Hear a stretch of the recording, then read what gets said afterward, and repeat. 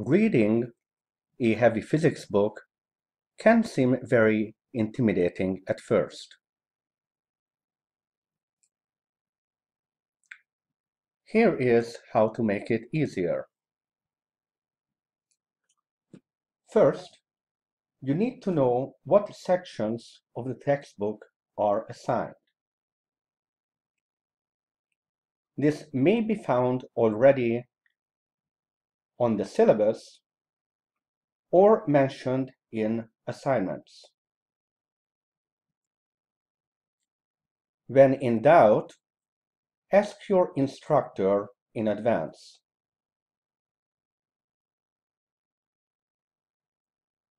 Reading takes a lot of time, so you need to pace yourself.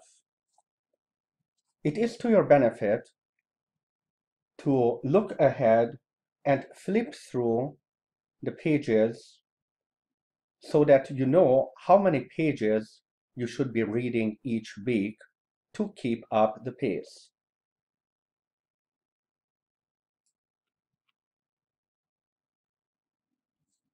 For example, if in this case you are on topic 5, you should look at the textbook for the assigned sections how much you need to read in those two weeks. Do not assume all sections are the same length. In this case, if we compare with the assigned sections and add up the number of pages, we get that we have to read about 10 pages worth from one chapter and maybe about 15 pages from another. If we take a look at one of these chapters, notice it might already list for you the important concepts you will be learning about.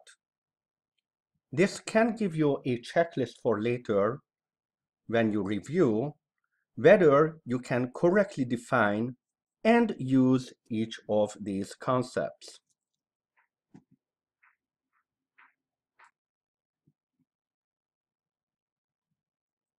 Some people at this point are able to just proceed and read the text. While for others, it might actually be a good idea to quickly turn to the back of the chapter to see the summary of the uh, underlying principles mentioned in the checklist and major concepts including being able to understand the relevant equations involved. As you read through the text, your physics book will highlight the first appearance of these concepts and if you read around it, it is where you will find the definition. Reading around the same area, you will get more clarification and perhaps even examples for you to get an idea how it is used in physics.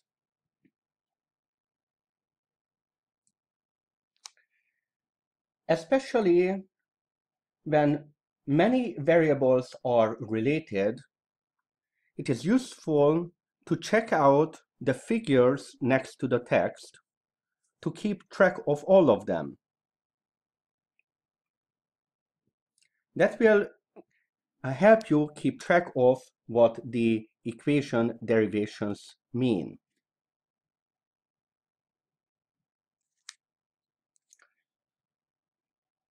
Equations are often followed up by problem-solving examples. These will give you sample text reading of the problem, interpretations, and step-by-step -step derivation of the result. Keep in mind that despite the derivations by the book, it is bad practice to just take the final answer and plug it into your homework problems. Your instructor will probably ask you to retrace the steps of the derivations from first principles before using the derived equations in your problems.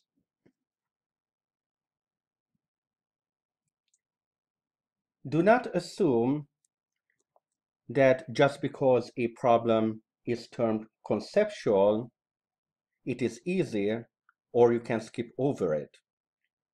These can lay foundations and give you clues on many of your homework problems and exam questions.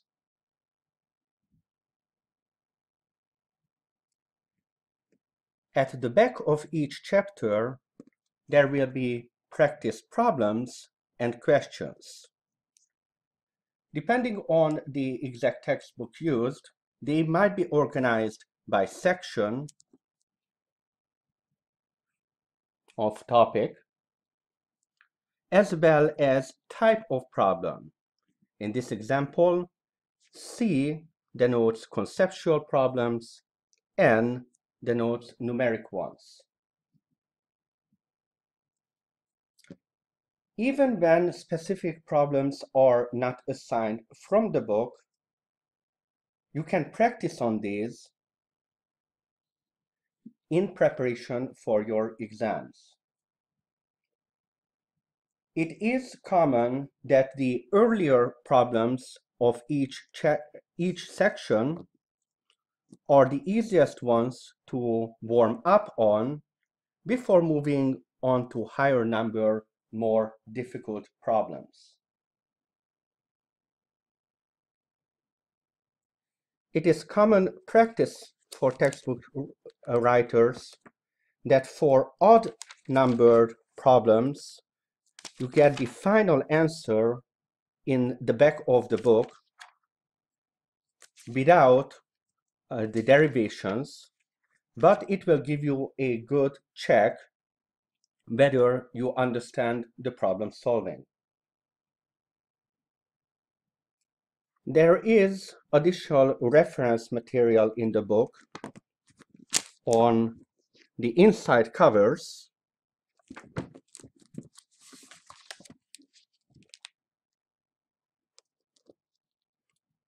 that can help you in case you get lost in, say, unit conversions.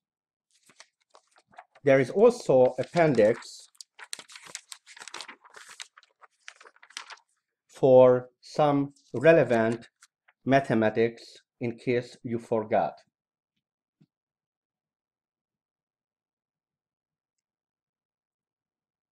Learning to read a science textbook takes time and patience.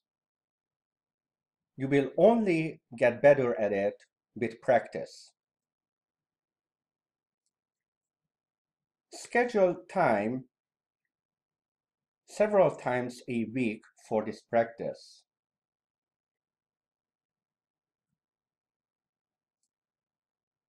Also keep in mind that to best understand the concepts, you should read first, at least in an overview form before attending lecture.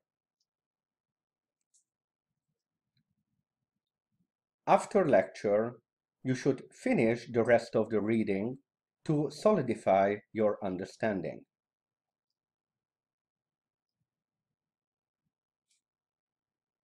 While solving homework problems, refer back to the examples. It is recommended to read the example multiple times until you understand the steps.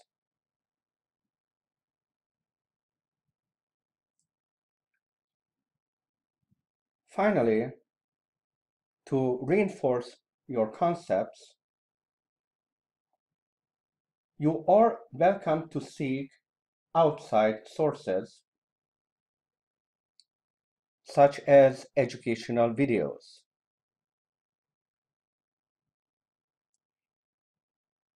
Keep in mind, however, that these videos are not substitutes for your reading nor for attending lecture.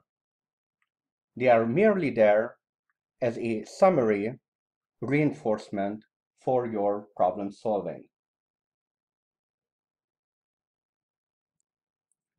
Finally, when still confused, you are strongly encouraged to come to office hours, seek tutoring services, or form your own study groups.